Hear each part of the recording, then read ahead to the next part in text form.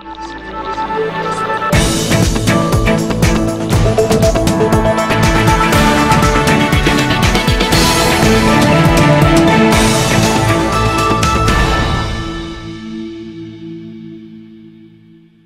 జాగ్రఫీలో next అనగా భారతదేశం యొక్క సహజ ఉద్భుజ సంపద.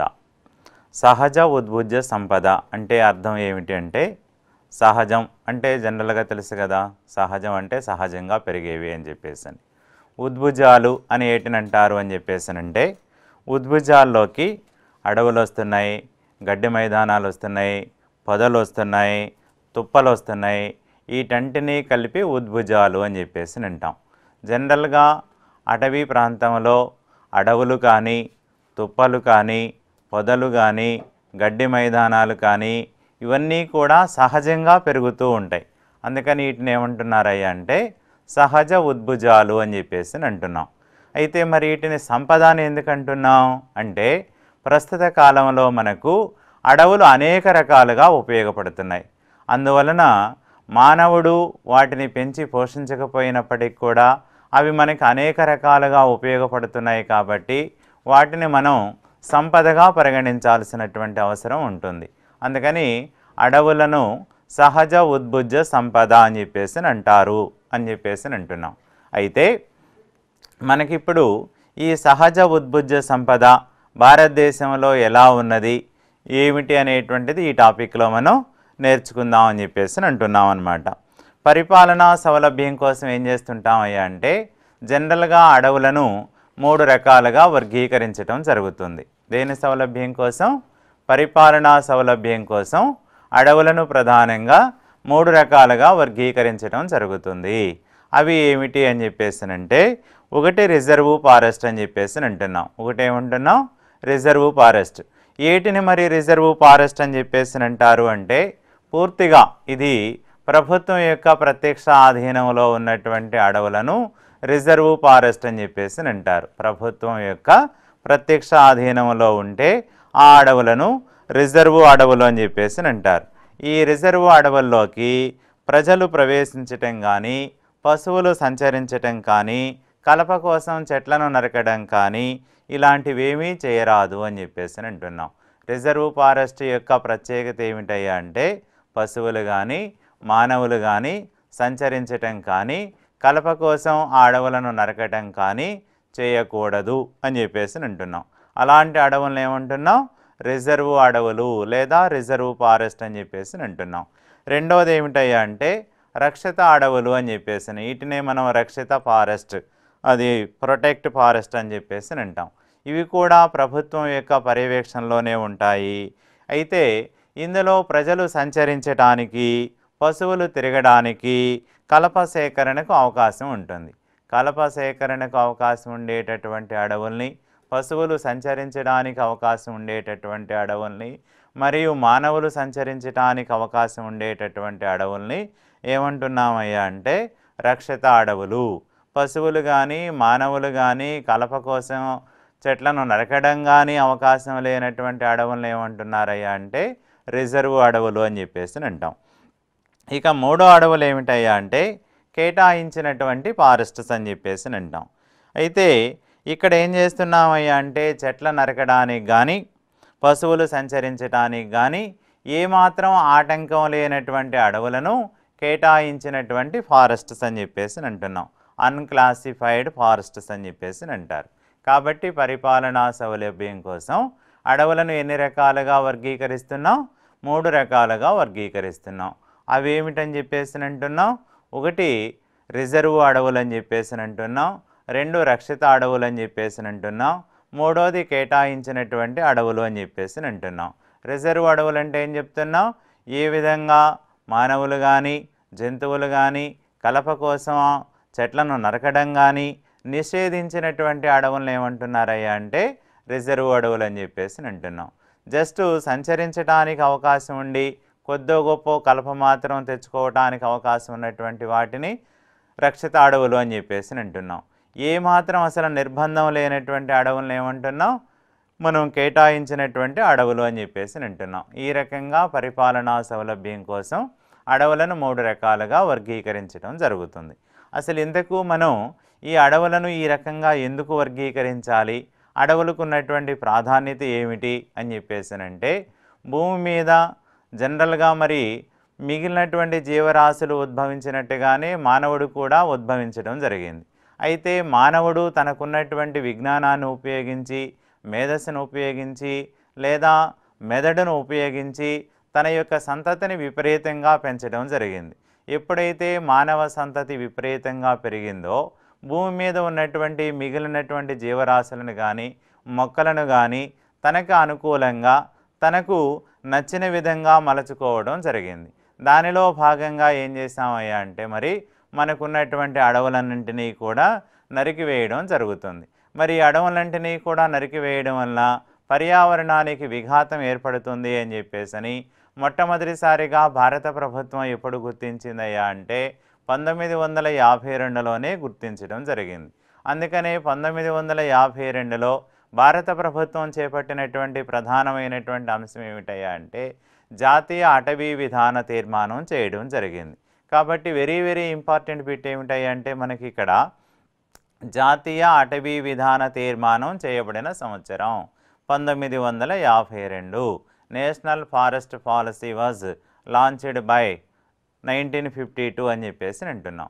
ఈ జాతీయ అటవీ విధాన తీర్మానం ప్రకారం ఒక ప్రాంత భౌగోళిక విస్తరణలో మనం ఆవరణాన్ని పరిరక్షించాలంటే పర్యావరణాన్ని పరిరక్షించాలంటే ఒక ప్రాంత భౌగోళిక విస్తీర్ణంలో ముప్పై మూడు పాయింట్ మూడు శాతం ప్రాంతంలో అడవులు ఉండాలి అని చెప్పేసి అంటున్నాం. అయితే అన్ని ప్రాంతాలలో ముప్పై మూడు పాయింట్ మూడు శాతం ప్రాంతంలో అడవులు ఉంటే మరి మానవులు నివసించడానికి అవకాశం ఉన్నటువంటి ప్రాంతాలు ఏవి అని చెప్పేసి అన్నప్పుడు జనరల్గా మనం భూగోళాన్ని ఏం చేస్తున్నామని అంటే భౌగోళికంగా మూడు ప్రధాన భూస్వరూపాలుగా పేర్కొంటున్నాం.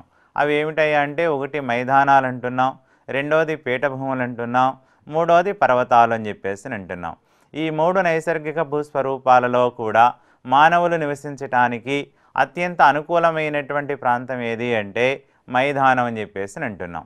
కాబట్టి మైదానంలో ప్రజలు ఎక్కువగా నివసించటం వల్ల మరి మైదానాలలో కూడా ముప్పై మూడు పాయింట్ మూడు శాతం ప్రాంతంలో అడవులు ఉంటే మరి మనకి వ్యవసాయం చేయటం కష్టం కాబట్టి ఏం చేస్తున్నామంటే మైదాన ప్రాంతాలలో ఇరవై శాతం ప్రాంతంలో అడవులు ఉంటే చాలు అని చెప్పేసి అంటున్నాం.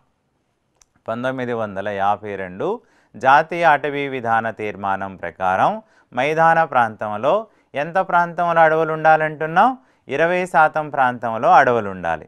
అదే పర్వతాలు ప్రజలు నివసించటానికి మరి అనుకూలంగా లేనటువంటి ప్రాంతాలు కాబట్టి తక్కువ మంది ప్రజలు నివసించటం జరుగుతుంది కాబట్టి పర్వత ప్రాంతంలో ఎక్కువగా అరణ్యాలు ఉండాలి అని చెప్పేసి అంటున్నాం. అందుకని పర్వత ప్రాంతాలు అయితే సిక్స్టీ పర్సెంట్ అటవీ భూమి ఉండాలి. అరవై శాతం ప్రాంతం అటవీ భూమి ఉండాలి. పర్వత ప్రాంతాలలో అయితే అరవై శాతం భూభాగంలో అడవులు ఉండాలి. మైదాన ప్రాంతాలలో అయితే ఇరవై శాతం భూభాగంలో అడవులు ఉండాలి. మొత్తం మీద అయితే ముప్పై మూడు పాయింట్ మూడు శాతం ప్రాంతంలో అడవులు ఉండాలి అని చెప్పేసి అని ఎప్పుడు గుర్తించడం జరిగిందంటున్నాం మనం? పంతొమ్మిది వందల యాభై రెండు. కాబట్టి పంతొమ్మిది వందల యాభై రెండులో కేంద్ర ప్రభుత్వం ప్రవేశపెట్టినటువంటి అంశం ఏమంటున్నాం? జాతీయ అటవీ విధాన తీర్మానం అని చెప్పేసి అని అంటున్నాం. మరి భారతదేశంలో ఎంత శాతం ప్రాంతంలో అడవులు ఉన్నాయి ఎంత భూభాగం క్రింద ఎంత భూభాగం అడవుల క్రింద ఉన్నది అని చెప్పేసినంటే మనకి రెండు వేల పదమూడు Indian state report forest report ప్రకారం భారతదేశం యొక్క మొత్తం భూభాగంలో అరవై తొమ్మిది పాయింట్ ఏడు తొమ్మిది మిలియన్ హెక్టార్ల భూమి అడవుల క్రింద ఉన్నది అని చెప్పేసి అంటున్నాం ఎంత భూమి ఉందంటున్నాం అరవై తొమ్మిది పాయింట్ ఏడు తొమ్మిది హెక్టార్ల భూమి ఏడు తొమ్మిది మిలియన్ హెక్టార్ల భూమి అడవుల క్రింద ఉన్నది. అంటే ఇది దేశ భూభాగంలో ఎంత శాతం అని చెప్పేసి అంటున్నాం ఇరవై ఒకటి పాయింట్ రెండు మూడు శాతం ప్రాంతం అని చెప్పేసి అంటున్నాం భారతదేశం యొక్క భారతదేశం యొక్క మొత్తం భూభాగంలో అడవుల క్రింద ఉన్నటువంటి భూభాగ శాతం ఎంత అంటే ఇరవై ఒకటి పాయింట్ రెండు మూడు శాతం ప్రాంతం. కానీ అడవుల క్రింద ఎంత ఉండాలంటున్నాం పంతొమ్మిది వందల యాభై రెండు జాతీయ అటవీ విధాన తీర్మానం ప్రకారం ఒక ప్రాంత భౌగోళిక విస్తీర్ణంలో ముప్పై మూడు పాయింట్ మూడు శాతం ప్రాంతంలో అడవులు ఉండాలి కానీ భారతదేశం యొక్క భూభాగంలో ఎంత శాతం ప్రాంతంలో అడవులు ఉన్నాయంటున్నాం ఇరవై ఒకటి పాయింట్ రెండు మూడు శాతం ప్రాంతంలో అడవులు ఉన్నాయి కాబట్టి ఇంకా భారతదేశంలో అడవులను అభివృద్ధి చేయవలసినటువంటి అవసరం ఎంతైనా ఉన్నది అనేటటువంటి దీనిని బట్టి మనకి తెలియవస్తుంది అని చెప్పేసి అంటున్నాం. ఇక ప్రపంచం యొక్క మొత్తం అటవీ విస్తరణలో ప్రపంచంలో ఉన్నటువంటి అటవీ విస్తరణలో మరి భారతదేశం యొక్క భూభాగం యొక్క అటవీ విస్తరణం ఎంతయ్యా అని చెప్పేసానంటే కేవలం one point eight five percent మాత్రమేనని చెప్పవచ్చును ఒకటి పాయింట్ ఎనిమిది ఐదు శాతం మాత్రమే. ప్రపంచం యొక్క అటవీ భూభాగ విస్తీర్ణంలో భారతదేశం యొక్క అటవీ భూభాగ విస్తీర్ణం ఎంత అంటే one point eight five percent ఒకటి పాయింట్ ఎనిమిది ఐదు శాతం మాత్రమే. కాబట్టి భారతదేశంలో అడవులను అభివృద్ధి చేయవలసినటువంటి అవసరం ఎంతైనా ఉన్నది.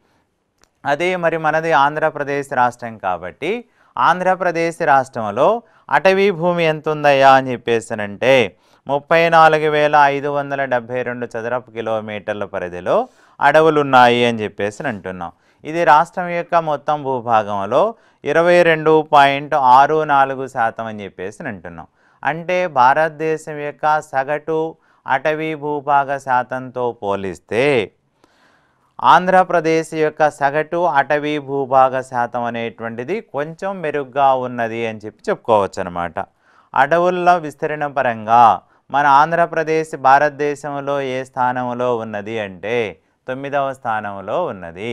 అటవీ విస్తరణ అత్యధికంగా ఉన్నటువంటి రాష్ట్రాలలో ఆంధ్రప్రదేశ్ అనేది భారతదేశంలో ఏ స్థానంలో ఉన్నది అంటే తొమ్మిదవ స్థానంలో ఉన్నది. అది కాబట్టి ఇప్పుడు పంతొమ్మిది వందల యాభై రెండు జాతీయ అటవీ విధాన తీర్మానం ప్రకారం భారతదేశంలో అత్యధికంగా అడవులు కలిగినటువంటి రాష్ట్రాలు ఏమిటి అని చెప్పేసినంటే మరి ఇది ఏ లెక్కల ప్రకారం అని చెప్పేసి అంటున్నాం? రెండు వేల పదమూడు పద్నాలుగు state Indian state forest report ప్రకారం భారతదేశంలో అత్యధికంగా అడవులు ఉన్నటువంటి రాష్ట్రం అత్యధిక భూభాగంలో అడవులు ఉన్నటువంటి రాష్ట్రం. ఒకటి మధ్యప్రదేశ్ అని చెప్పేసి అంటున్నాం. కాబట్టి మధ్యప్రదేశ్ రాష్ట్రంలో అటవీ భూమి ఎక్కువగా ఉన్నది. మరి మధ్యప్రదేశ్ రాష్ట్రంలో ఎంత అటవీ భూమి ఉన్నది అని చెప్పేసి అన్నప్పుడు డెబ్భై ఏడు వేల ఏడు వందల చదరపు కిలోమీటర్ల పరిధిలో మధ్యప్రదేశ్ రాష్ట్రంలో అడవులు ఉన్నాయి. ఎంత అంటున్నాం డెబ్భై ఏడు వేల ఏడు వందల చదరపు కిలోమీటర్ల పరిధిలో అత్యధిక భూభాగంలో భారతదేశంలో అడవులు ఉన్నటువంటి రాష్ట్రం మధ్యప్రదేశ్ అని చెప్పేసి అంటున్నాం మరి రెండవ స్థానంలో ఉన్నటువంటి రాష్ట్రం ఏదయ్యా అంటే అరుణాచల ప్రదేశ్. అరుణాచల ప్రదేశ్లో ఎంత భూభాగంలో అడవులు ఉన్నాయి అన్నప్పుడు యాభై తొమ్మిది వేల ఏడు వందల డెబ్భై రెండు చదరపు కిలోమీటర్లు అని చెప్పేసి అంటున్నాం రెండవ రాష్ట్రం ఏదంటున్నాం?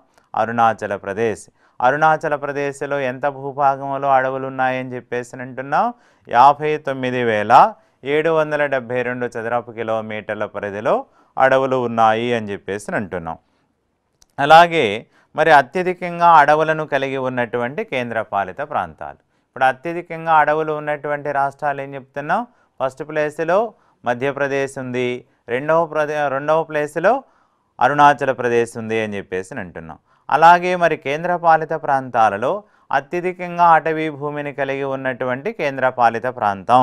ఏది అన్నప్పుడు ఒకటి అండమాన్ నికోబార్ దీవులు.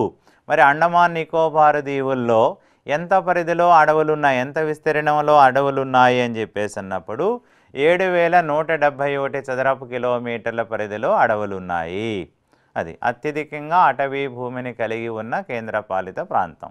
ఏదంటున్నాం అండమాన్ నికోబార్ దీవులు. అండమాన్ నికోబార్ దీవుల్లో ఎంత పరిధిలో అడవులు ఉన్నాయని చెప్పేసి అంటున్నాం. ఏడు వేల నూట డెబ్భై ఒకటి చదరపు కిలోమీటర్ల పరిధిలో అడవులు ఉన్నాయి అని చెప్పేసి అంటున్నాం. రెండవ రా కేంద్రపాలిత ప్రాంతం ఏదయ్యా అంటే దాద్రానగర్ హవేలీ అని చెప్పేసి అంటున్నాం. మరి దాద్రానగర్ హవేలీలో ఎంత విస్తీర్ణంలో అడవులు ఉన్నాయి అన్నప్పుడు రెండు వందల నాలుగు చదరపు కిలోమీటర్ల పరిధిలో అడవులు ఉన్నాయి. కాబట్టి అత్యధికంగా అటవీ భూమిని కలిగి ఉన్నటువంటి కేంద్రపాలిత ప్రాంతాలు ఏమంటున్నాం ఒకటి అండమాన్ అండ్ నికోబార్ దీవులు అంటున్నాం రెండోది దాద్రా నగర్ హవేలీ అని చెప్పేసి అంటున్నాం అలాగే మరి అత్యల్పంగా అంటే అతి తక్కువగా అటవీ భూమి ఉన్నటువంటి రాష్ట్రాలు అని చెప్పేసి అంటున్నాం ఒకటి గోవా. గోవాలో ఎంత మరి విస్తీర్ణంలో అడవులు ఉన్నాయి అంటే కేవలం పన్నెండు వందల ఇరవై ఐదు చదరపు కిలోమీటర్ల పరిధిలో మాత్రమే అడవులు ఉన్నాయి అంటున్నాం ఇక రెండవ రాష్ట్రం ఏదయ్యా అంటే హర్యానా. హర్యానాలో ఎంత విస్తీర్ణంలో అడవులు ఉన్నాయా అని చెప్పేసానంటే పదిహేను వందల యాభై తొమ్మిది చదరపు కిలోమీటర్ల పరిధిలో అడవులు ఉన్నాయి కాబట్టి భారతదేశంలో అత్యల్పంగా అటవీ భూమిని కలిగి ఉన్నటువంటి రాష్ట్రాలలో మొదటి స్థానంలో వచ్చేటటువంటి రాష్ట్రం ఏదంటున్నాం గోవా. రెండవ స్థానంలో ఉన్నటువంటి రాష్ట్రం ఏదంటున్నాం హర్యానా అని చెప్పేసి అంటున్నాం అలాగే మరి అత్యల్పంగా అటవీ భూమిని కలిగి ఉన్నటువంటి కేంద్రపాలిత ప్రాంతాలు.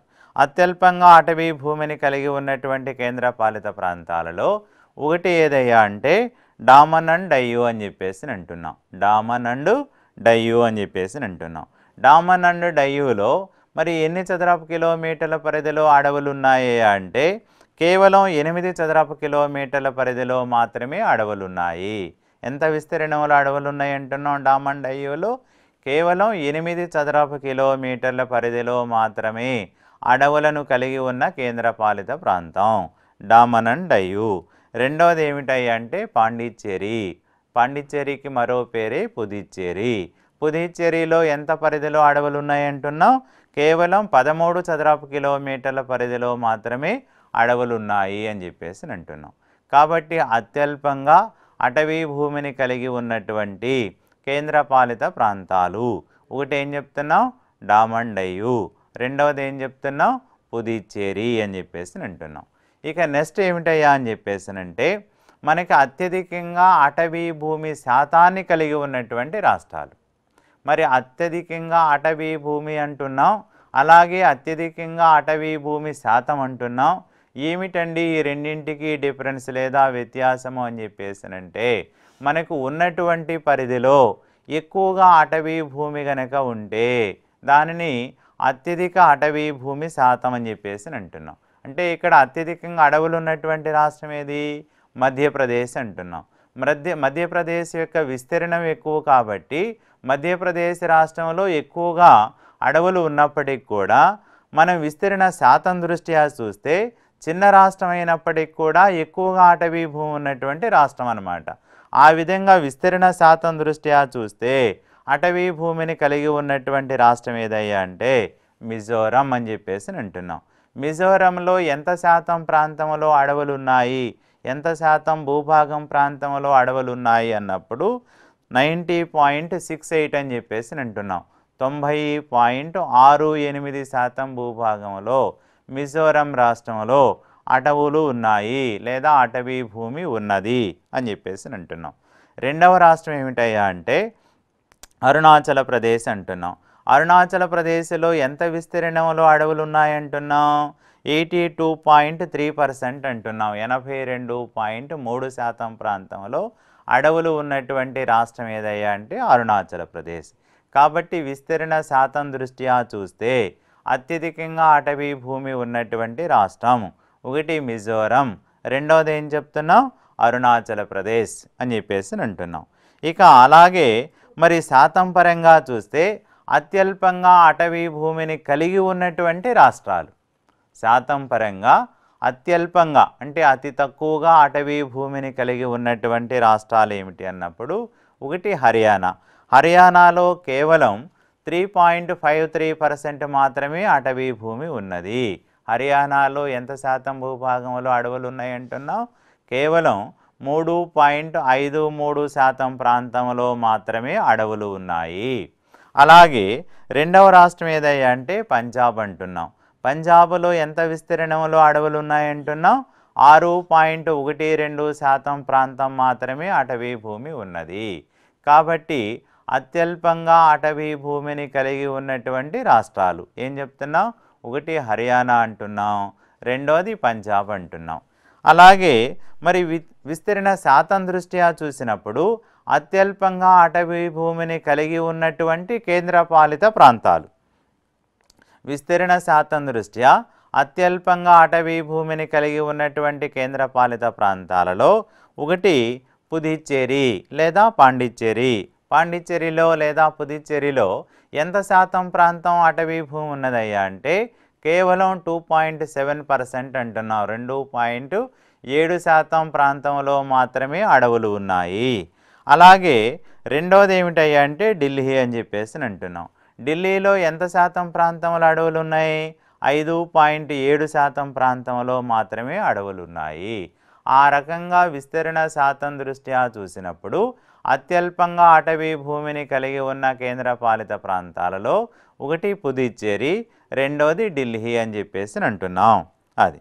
కాబట్టి ఈ రకంగా మనకి పంతొమ్మిది రెండు వేల పదమూడు పద్నాలుగు ఇది జాతీయ లెక్కల ప్రకారం అటవీ లెక్కల ప్రకారం ఈ రకంగా అత్యధికంగా అత్యల్పంగా అటవీ భూములు ఉన్నటువంటి రాష్ట్రాలు కేంద్రపాలిత ప్రాంతాలు అట్లాగే విస్తరణ శాతం దృష్ట్యా చూసినప్పుడు అత్యధికంగా అత్యల్పంగా ఉన్నటువంటి రాష్ట్రాలు కేంద్రపాలిత ప్రాంతాలు ఆ విధంగా ఉన్నాయి అని చెప్పేసి అంటున్నాం.